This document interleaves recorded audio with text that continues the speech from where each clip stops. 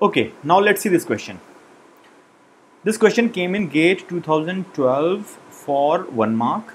The question is let Wn and An denote respectively the worst case and average case running time of any of an algorithm executed on an input of size n.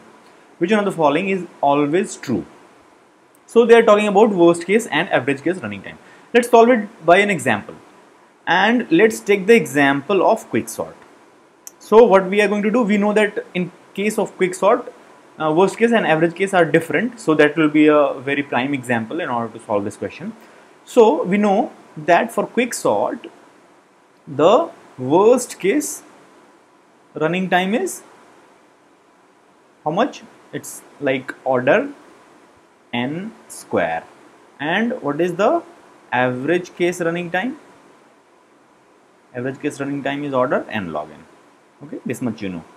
Now this they are saying that let's consider this as worst wn okay and they are saying this to be an which is average case.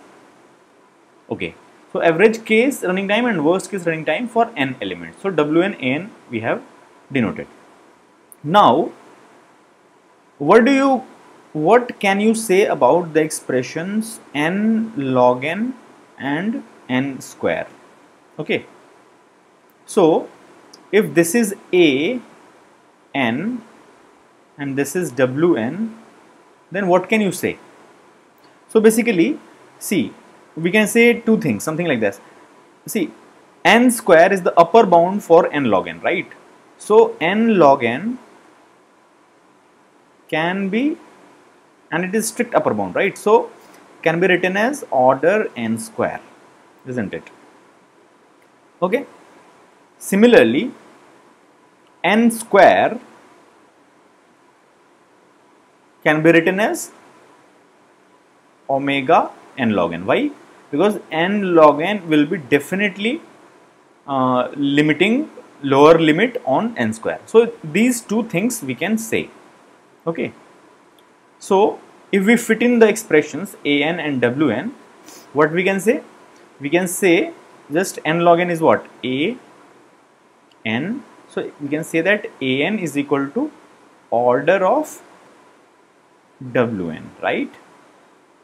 Because wn is n square here. We can say another thing also. And in fact here from here also we can say because simply if we uh, invert uh, the side then big O changes to omega, big omega, right?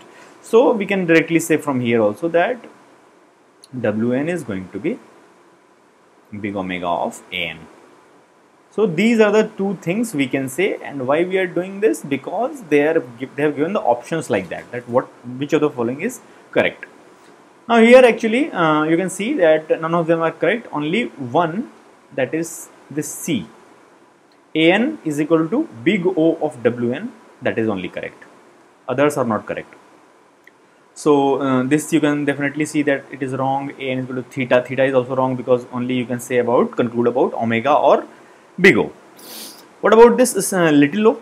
So an is equal to little o wn but we can say see here that it is big o. What is little o?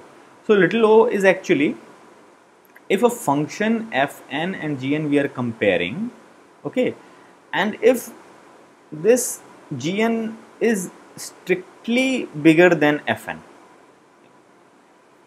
asymptotically then we say that fn is equal to little o of gn okay? Okay?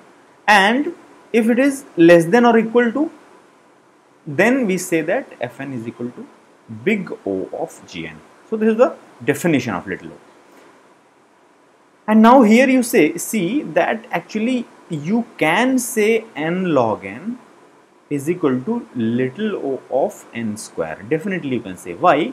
Because asymptotically n square will be strictly bigger than n log n. It is true. But still this answer is wrong d because it is not going to be this uh, whatever worst case time is there that is not going to be strictly bigger in all cases for example what about other sorting algorithms or any other algorithm let's say which takes order n square in worst case also and order n square in average case also. In that case, uh, the expression for Wn is also n square, expression for an is also n square. So in that case, this this thing is that an is equal to little of wn will not hold because n square is not strictly bigger than n square, right? So I give you an example why this is wrong and other examples we can clearly see why they are wrong. So C is the answer.